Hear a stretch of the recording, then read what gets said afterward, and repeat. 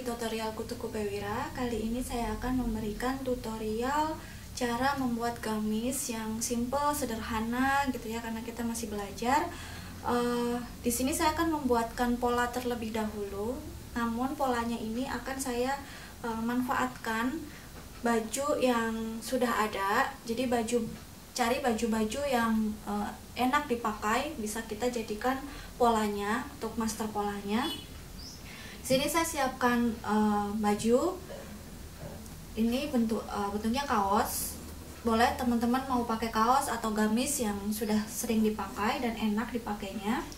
Disarankan yang jangan ada kerahnya untuk memudahkan kita menggambar uh, lehernya. Nah pertama ini bajunya. Kita lipat jadi dua dilipat jadi dua seperti ini secara simetri.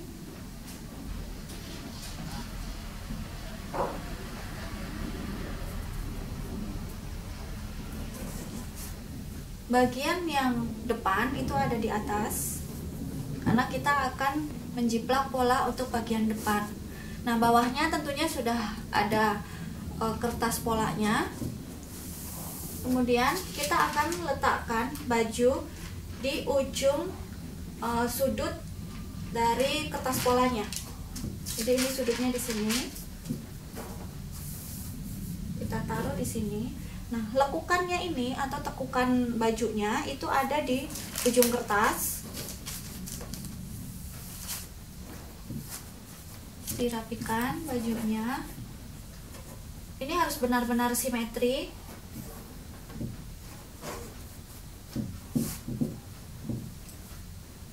seperti ini. Kemudian kita gambar polanya sesuai dengan bajunya. Ini adalah bagian bahu kita gambar. Di sini ujung dari bahunya kita kasih tanda titik.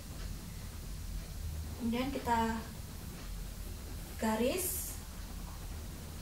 Nah pada di lengan ini kita masukkan lengannya kita tahan kita sesuaikan dengan lengan yang ada di uh, bajunya itu. Kita tahan sedikit seperti ini disesuaikan dengan lengkungannya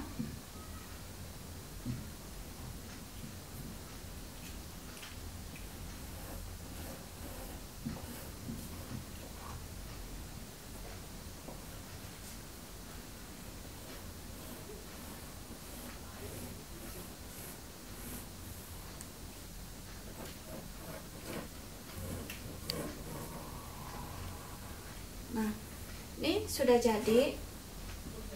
Tapi sebelumnya uh, sorry sebelumnya kita tandai dulu bagian uh, leher depan. Kita tandain bagian leher depan yang ini. Nah ini nanti ada titiknya. Nanti titik ini akan kita hubungkan dengan titik ujung bahunya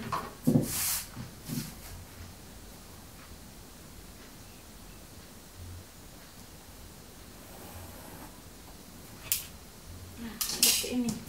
Nih sudah mulai terlihat. Nah kemudian kita pertebal. Agar lebih terlihat lagi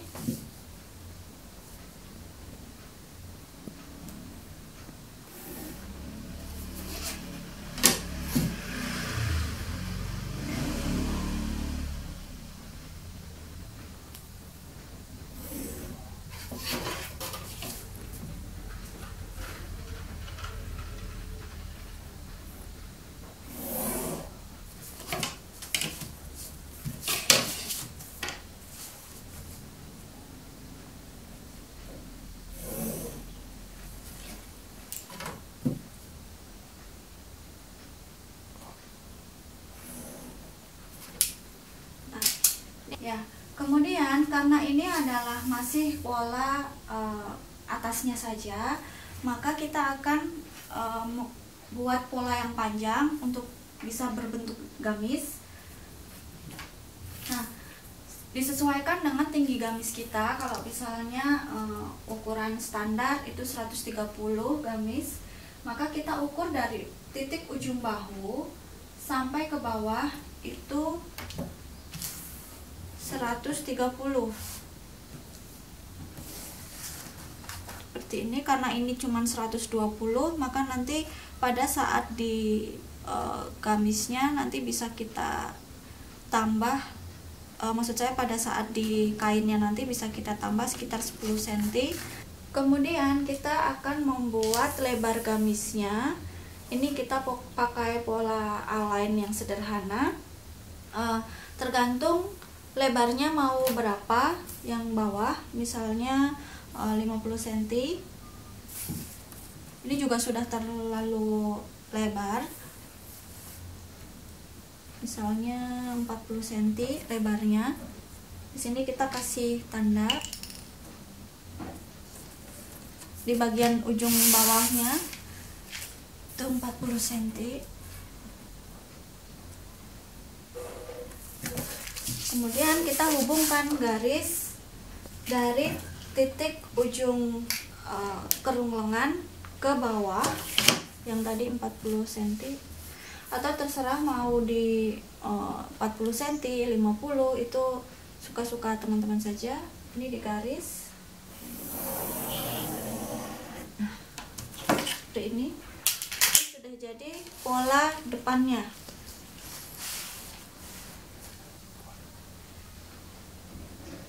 next kita akan buat pola belakang. Selanjutnya untuk pola belakang yang tadi e, bagian depan ada di atas sekarang bagian belakang taruh di atas. Seperti ini kemudian kita lipat.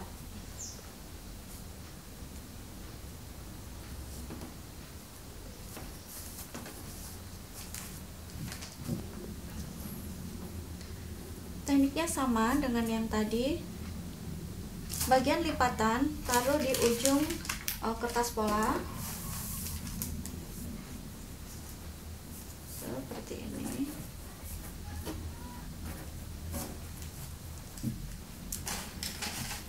Kemudian kita gambar. Kita titik dulu uh, bagian ujung bahunya. Kita titik dulu kita titik dulu bagian ujung bahu kemudian kita garis sesuai dengan pola bajunya.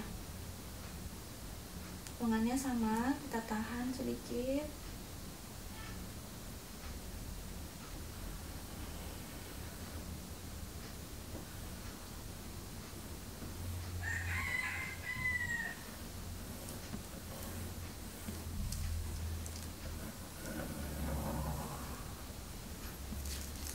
bagian atas untuk kerung, kerung leher belakangnya. Kita tandain.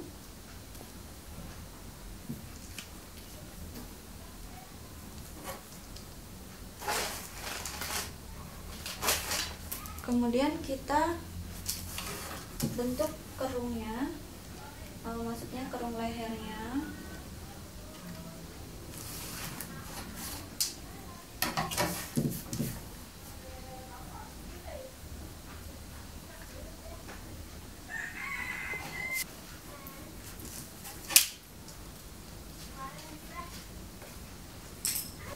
kemudian kita perjelas menggunakan uh, spidol. Sambil dirapikan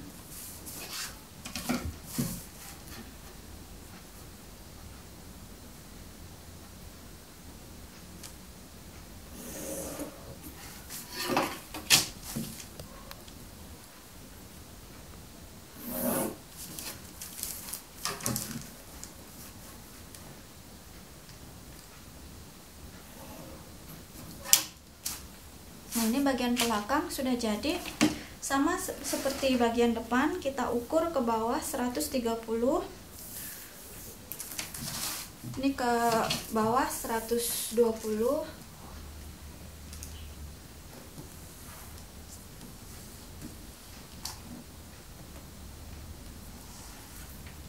jadi nanti di bagian bawah kita tambahkan di kainnya saja nah untuk lebarnya tadi 40 sama kita bikin 40 juga.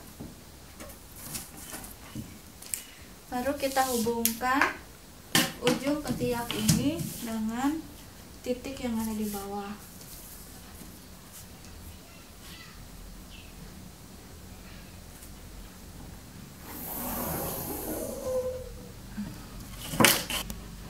Ini sudah jadi untuk bagian belakang oke selanjutnya adalah pola lengannya. Pertama kertas polanya harus kita lipat dulu.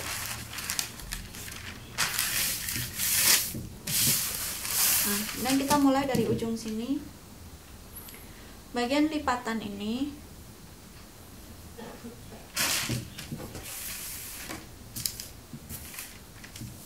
Kita taruh di sini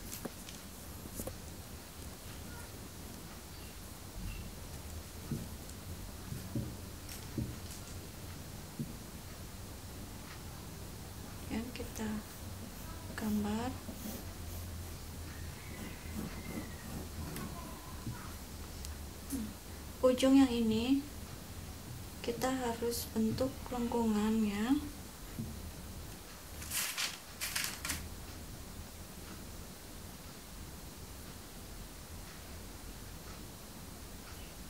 Agak sedikit susah bisa dibantu dengan jarum pentul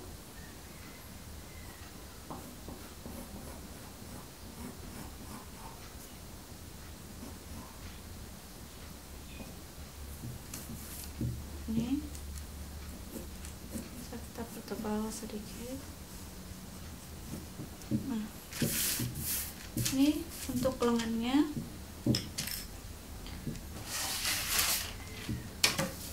pertebal lagi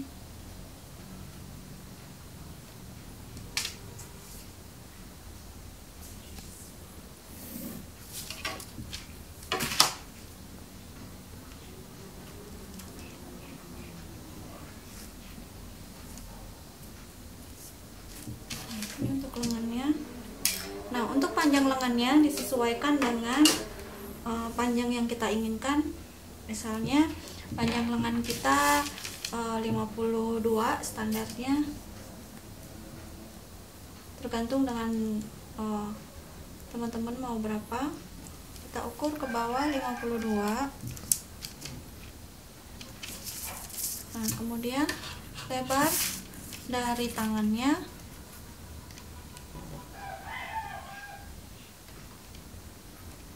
misalnya 24 tandain di sini. Nah kita tarik garis dari ujung sini.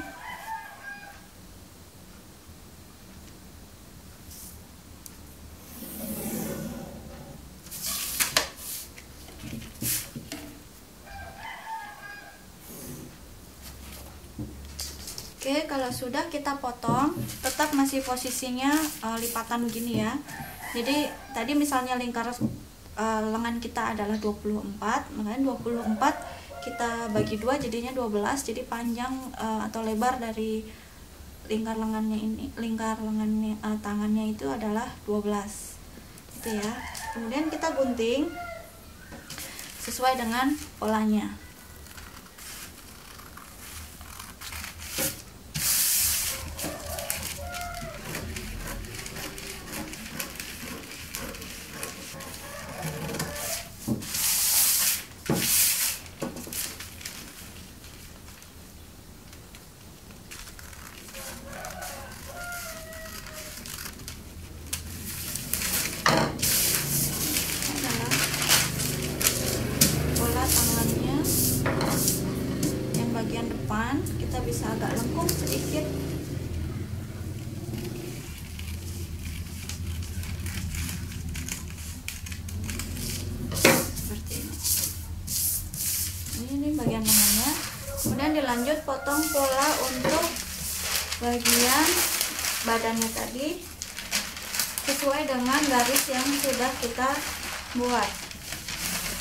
kita gunting ya. Kita lipat dulu kainnya sesuai dengan serat bahan. Biasanya serat bahan itu mengikuti panjang kainnya. Jadi ini panjang panjang kain ketemu panjang kain kita lipat. Seperti ini. Nah, kemudian kita taruh polanya. Pola depan kita taruh di pas lipatannya lipatan kainnya maksudnya.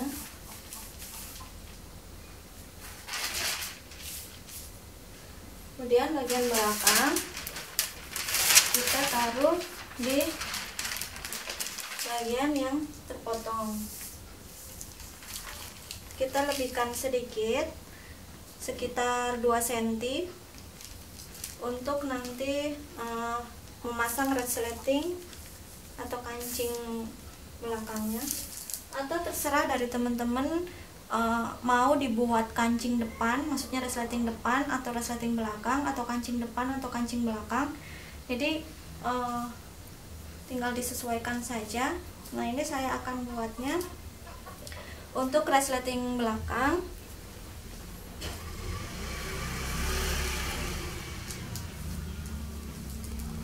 Kemudian kita sematkan pakai jarum pentul.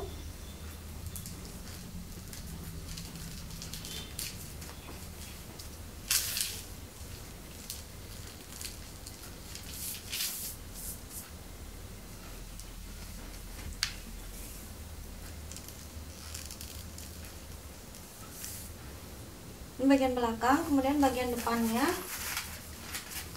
Nah tadi karena ukuran pola ini baru 120 eh, sedangkan yang kita butuhkan adalah 130 maka ditambah uh, di panjang kainnya itu sekitar 10 cm ditambah dengan kampuhnya sekitar 4 cm jadi ditambahnya 14 cm bagian ujung yang depan ini juga kita akan tambahkan 14 cm ke bawah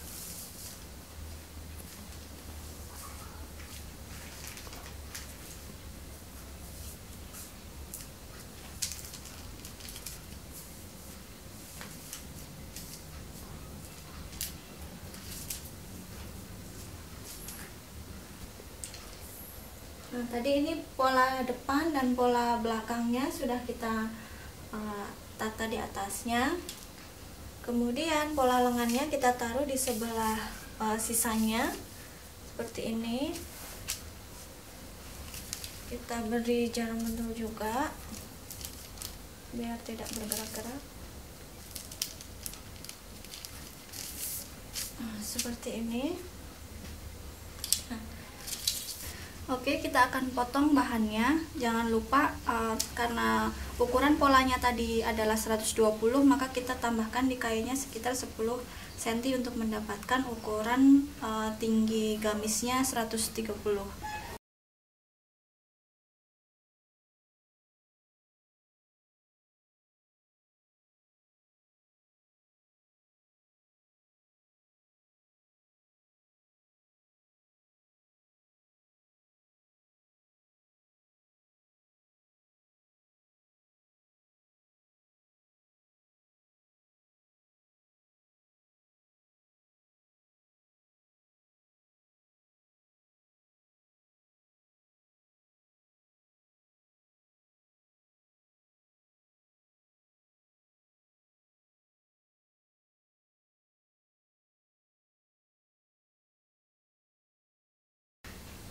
Oke langsung kita potong. Jangan lupa dilebihkan 2 cm dari jarak polanya digunakan untuk kampuhnya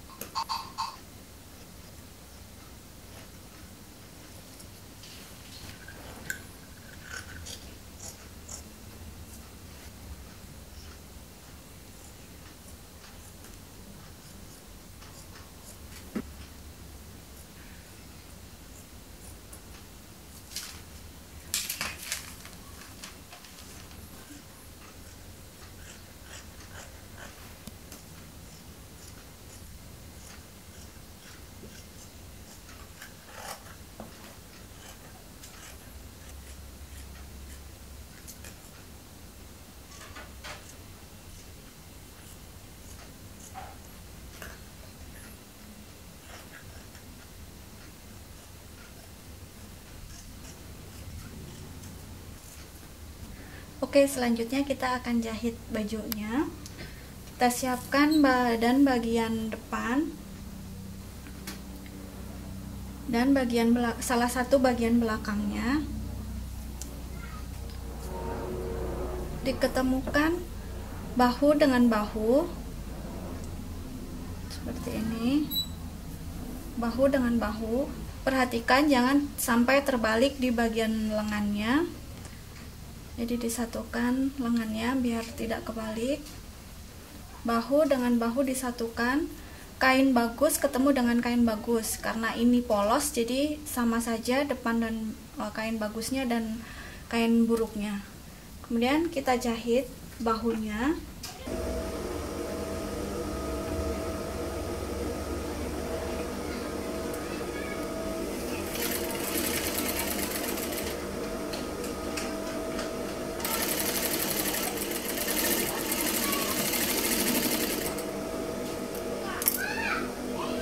setelah terjahit kita ambil bahu salah satunya lagi. Kita sambung dengan sisi belakang yang satunya.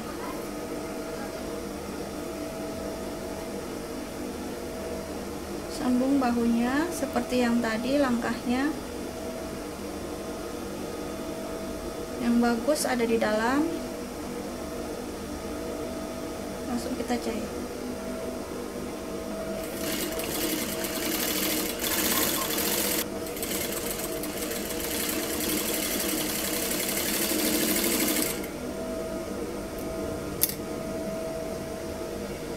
setelah selesai dua bahu dijahit langsung kita obras. Jika yang tidak punya mesin obras bisa dijahit stick balik. Setelah bagian bahunya di uh, obras bentuknya nanti seperti ini. Nah selanjutnya jahit sambung bagian belakangnya.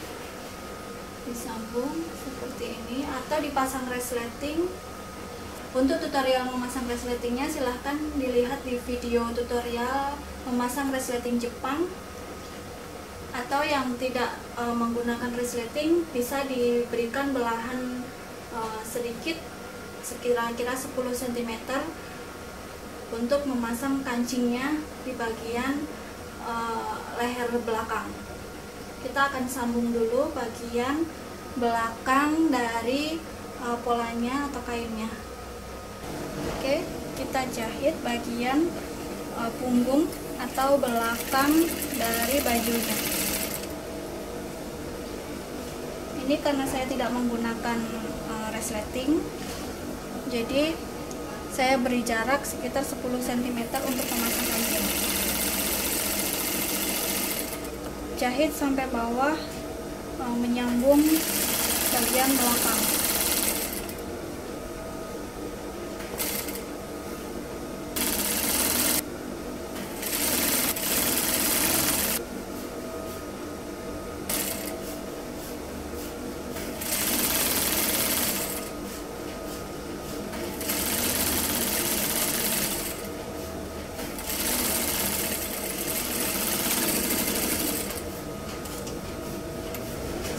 bagian belakang ini dijahit bentuknya akan menjadi seperti ini kemudian kita pasang lengannya terlebih dahulu. Ini lengannya si kanan dan kirinya.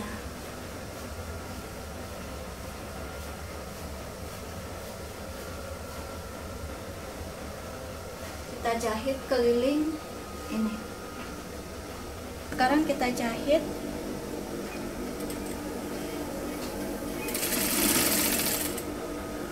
bagian kerung lengannya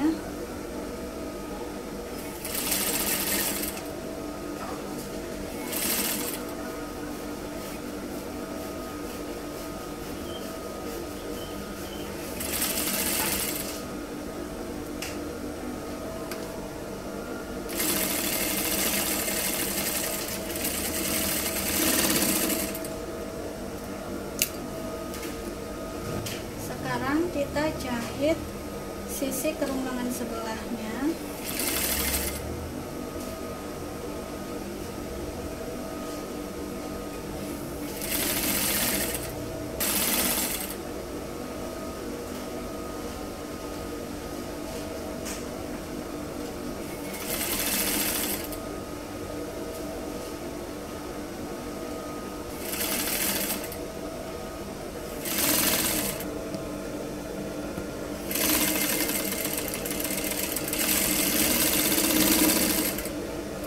dijahit kita obras keliling kerung lengannya. Kemudian kita sematkan jarum pentul pada sisi ketiaknya.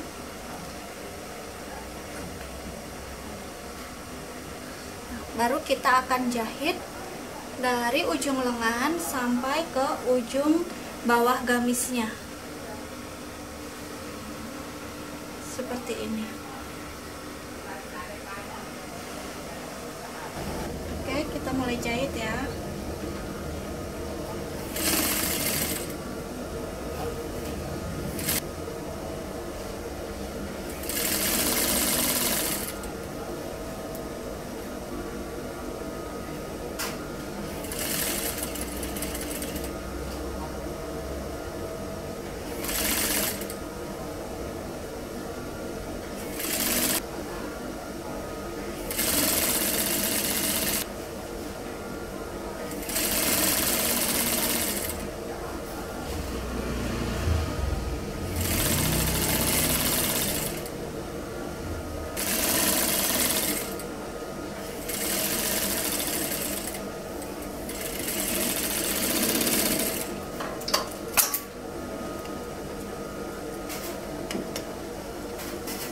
setelah selesai kita jahit yang sebelahnya.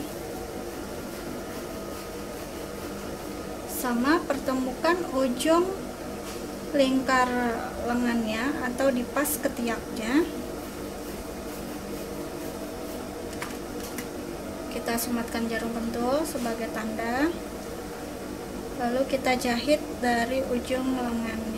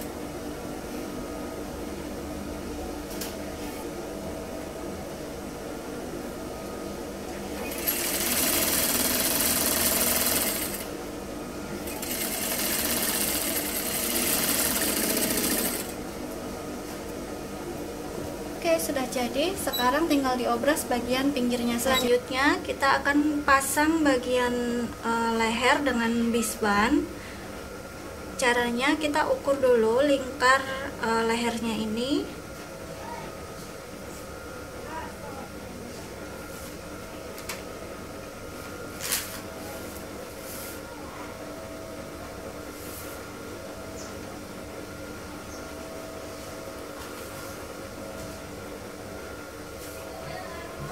panjangnya adalah 60 cm. Jadi kita siapkan e, bisban sepanjang 64 cm. Untuk lebihannya 4 cm. Nah cara e, cara membuat bisbannya itu kita pergunakan sisi yang e, miring. Jadi sisi diagonal dari kain. Kita lipat seperti ini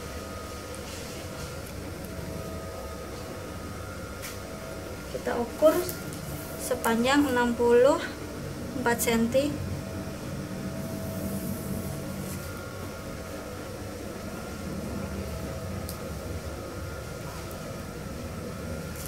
kita e, karena ini adalah lipatan jadi kita buat lebar sekitar 2 cm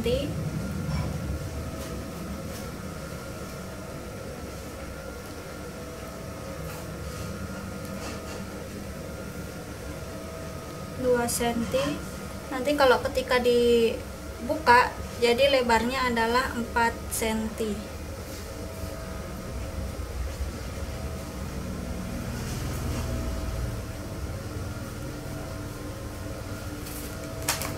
kemudian kita potong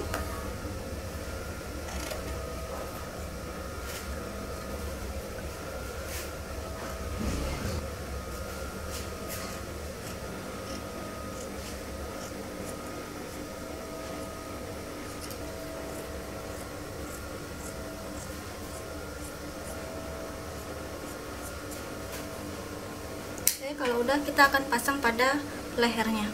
Oke sebelum kita pasang bisbannya kita rapikan dulu sisi uh, belahan dari punggungnya belahan ini. Tapi kalau ini menggunakan resleting tentu tidak ada belahannya seperti ini.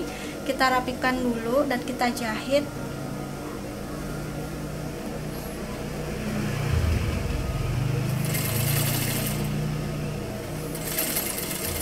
Dijahit melingkar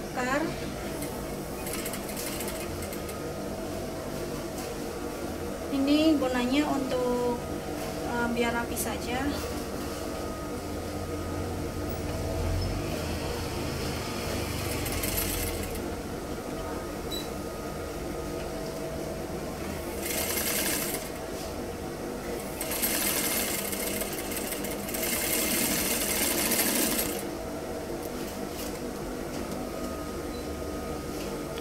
Nah, jadinya seperti ini. Baru kita pasangkan bisbannya. Nah, ini bagian lehernya jadi seperti ini. Kita pasang bisbannya mulai dari belakang.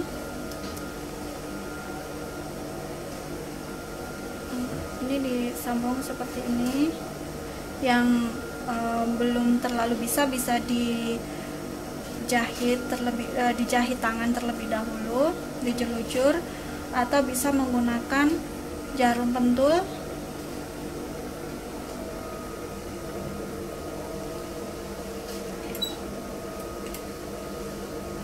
jarak sekitar 1 cm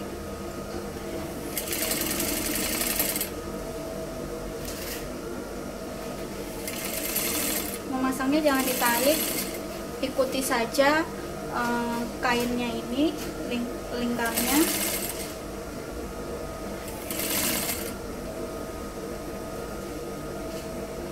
Pelan-pelan saja agar bisa lebih rapi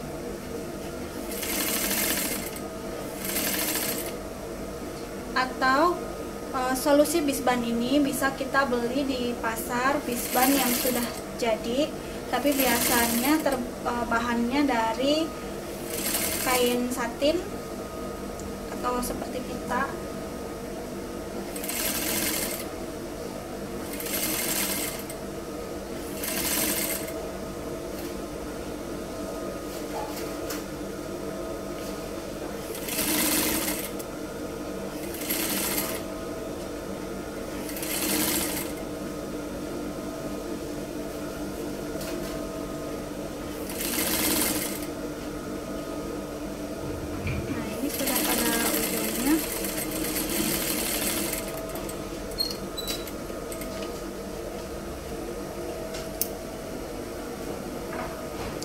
setelah seperti ini. Jika ini dirasa terlalu terlalu panjang bisa kita gunting.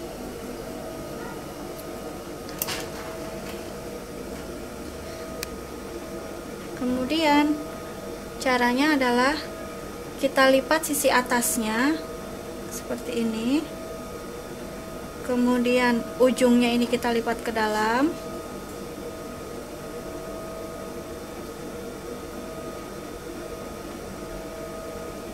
seperti ini kemudian kita lipat kembali masuk ke dalam. Menjadi seperti ini. Kita akan sematkan jarum pentul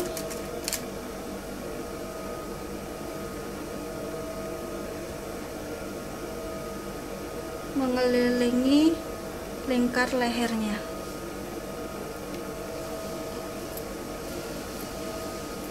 kita sambil rapikan tidak masalah.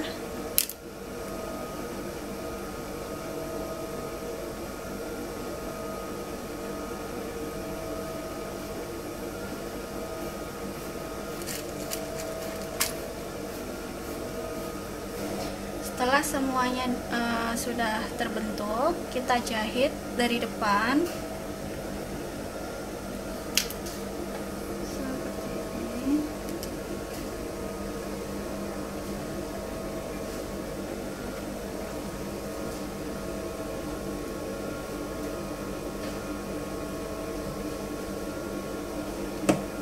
sudah kita jahit dari atas yang bawah sambil dirapikan jahit di pas bawah uh, dari lipatan jahitan.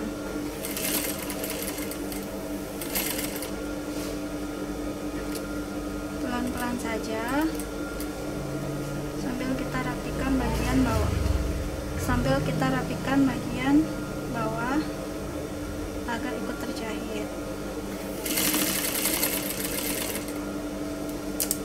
Ini sudah mulai terbentuk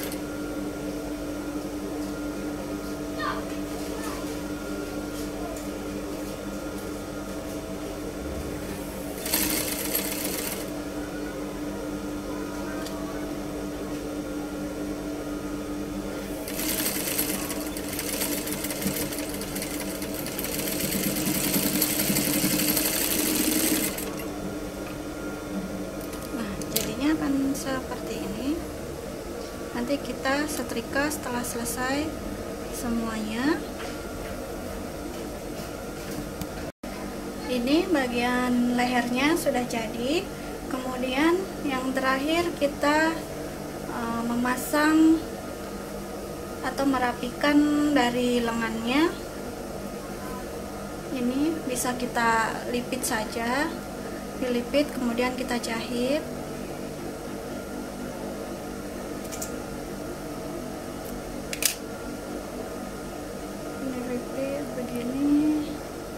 kemudian kita jahit